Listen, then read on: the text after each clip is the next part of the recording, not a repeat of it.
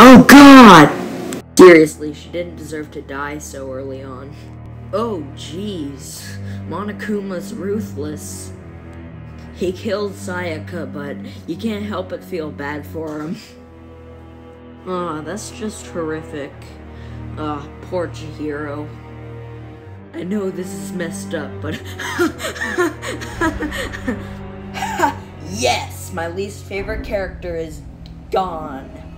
Taka! No! My bro! Wait, so Hifumi wasn't dead before? Hmm, well, he's dead now. This was a pretty weak execution, not gonna lie.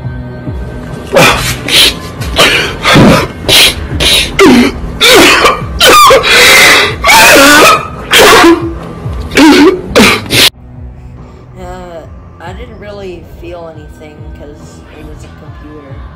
Despair feels great, doesn't it, Junko?